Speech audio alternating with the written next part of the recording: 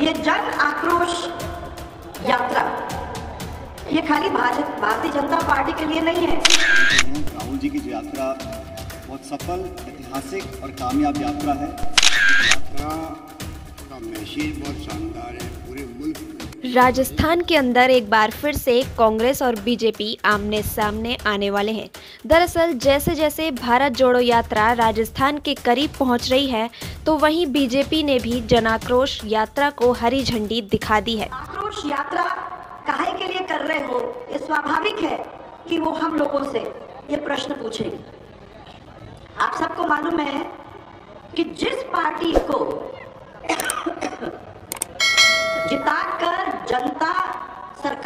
बैठाती है। तो उनसे, उनको बहुत आशा भी होती है, उनसे कुछ आकांक्षा है। अपनी खुद की आकांक्षाओं बुलाने की कोशिश भी उनके अंदर है। वो चाहते हैं कि आगे चल के हमारा स्वाभिमान, उसकी रक्षा हमारी सरकार करेगी। वो चाहते हैं कि एक शांतिपूर्ण वातावरण हमारे प्रदेश के अंदर फैलेगा, जिसकी वजह से हमारा आगे चल के प्रदेश समृद्ध होगा। ये सोच करके जनता किसी पार्टी को जिता के उसको सरकार देती है। हमने तो ऐसा करने की अपने समय में कोशिश की थी। लेकिन ये इस प्रदेश का दुर्भाग्य है। ये बहुत बड़ा दुर्भाग्य है कि पिछले सात, चार साल के अंदर जो सरकार सत्ता पर काबिज है यहाँ, उसने तो पहले दिन से ही अपनी विश्वसनीयता को खोने का काम किया। क्योंकि इस कांग्रेस ने जब अपनी सरकार बनाई तो झांसे के ऊपर ही अपनी सरकार बनाने का काम किया। कितने सारे वादे किए हैं सबको। आपने भी उन वादों को सुना। उन वादों का क्या हुआ? उन वादों का क्या हुआ? और आप तो इन बातों को छोड़िए। मैं तो ये कहना चाहूँगी आप लोगों को कि झूठ बोलकर जो भी सत्ता अपनाता है, उसको आगे चलकर दुख पाना ही पड़ेगा। और इससे आहत हमारी जो जनता है, उसने पाँच महीने के अंदर ही इस सरकार को बता दिया। जब उसने 25 की 25 सीटों को जिताकर मोदी जी के झोली में डालने का काम किया ये कोई छोटा मोटा काम नहीं था। यहाँ यहाँ कोई जीता, परंतु वहाँ उन्होंने दिखा दिया कि पाँच महीने के अंदर ही हम लोगों को इनके ऊपर विश्वास नहीं है।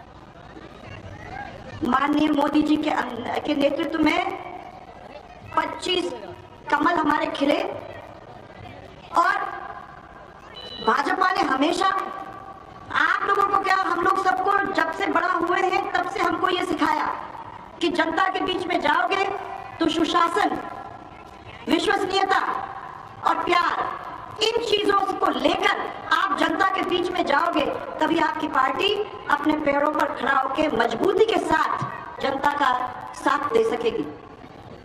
आज आदरणीय अटल अटल बिहारी वाजपेयी जी, अडवाणी जी हो, चाहे मोदी जी हो, इन लोग सबने सेवा और सुशासन के ऊपर हम सबको बताया और हम उस पर ज़ोर देने का काम किया मैं लोगों को याद दिलाना चाहती हूँ कि चार साल में सुशासन का तो नाम आप लोग भूल जाओ। शासन का तो नाम ही, निशान ही नहीं है, पूरा शासन ही समाप्त हो गया। आज अगर आप देखेंगे तो मुख्यमंत्री और अब वो क्या कहोगे? उप मुख्यमंत्री कहोगे या पूर्व उप मुख्यमंत्री कहोगे या पूर्व प्रदेश अध्यक्ष कहोगे, उनके बीच में बोलचाल ही नहीं है। मंत्री और अफसर एक दूसरे से लड़े जा रहे हैं। मंत्री और मंत्री एक दूसरे से लड़ते जा रहे हैं। यहाँ प्रधानमंत्री जी हमारे ये कह रहे हैं कि हमारे किसानों की जो आय है, उसको हमें सबको दुगना करने की ज़रूरत है। और दूसरी तरफ़ ये सरकार, जो हमारी एक बहुत लाभदायक स्कीम थी मुख्यमंत्री जल स्वावलंबन योजना, उसको बंद करने का काम। वैसे तो मैं तो एक का नाम ले रही हूँ। वैसे तो कई हमारे स्कीम्स थे जो भारतीय जनता पार्टी ने पिछले राज के अंदर आपके सामने रखे थे। उनको सबको ध्वस्त करने का काम इन लोगों ने किया। भर्ती की परीक्षा पेपर लीक करप्शन ऐसा भ्रष्टाचार, खुलेआम, किसी को शर्म ही नहीं है। अपने आपस के झगड़ों के बीच में उनको फुर्सत ही नहीं है ये पता करने को कि जनता क्या कर रही है और जनता के आँसू पहुँचने के लिए किसको कब जाने की ज़रूरत है। और बात आज की नहीं है। मैं ये आपको याद दिलाना चाहूँगी कि आज़ादी के बाद से लेकर भैरव सिंह जी की सरकार तक इस कांग्रेस शासन ने बीमारू प्रदेश के एक श्रेणी में हमारे राजस्थान को घसीटने का काम किया था। ये तो आप लोगों ने हम सबको आशीर्वाद दिया। तो हम लोगों ने मिलके, चाहे भैरव सिंह जी हो, चाहे भाजपा की सरकारें हो, हम लोगों ने मिल करके जनता को अपना केंद्र बिंदु मानते हुए, गरीब को अपना केंद्र बिंदु मानते हुए, जन कल्याणकारी योजना को ज़मीन पर लाने का काम किया। और पिछले सरकार के अंदर बीमारू प्रदेश के दर्जे से अपने सरकार को बाहर निकालकर, अपने प्रदेश को बाहर निकालकर, अग्रणी प्रदेश की पंक्ति में लाकर खड़ा करने का काम किया, जिसका हम सबको गर्व है। जय जय राजस्थान का नारा गूंजा और राजस्थान के अंदर एक स्वाभिमान जागा। मैं बार बार ये कहती हूँ कि तीन चीज़ हम लोगों के लिए बहुत ज़रूरी है। जनता के बीच में जनता का स्वाभिमान, जनता के बीच में और जन, प्रदेश के अंदर शांति इन दो चीज़ अगर अपने होते हैं तो आगे चल के प्रदेश की समृद्धि भी इसके साथ जुड़ती है। चार साल के अंदर आप लोगों को देखने को मिला।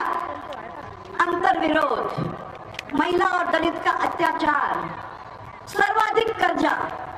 आज अगर आप लोग गिनती करोगे तो मैं आपको ये बता सकती हूँ कि एक एक व्यक्ति को छियासी हज़ार चार सौ छत्तीस रुपए का कर्जा वहन करना पड़ रहा है। एक एक व्यक्ति के ऊपर है। पेट्रोल, डीजल, बिजली, इन सब के भाव बढ़ गए हैं। कोरोना के काल के अंदर किस तरीके से लापरवाही के साथ लोगों के साथ तो डील किया गया था?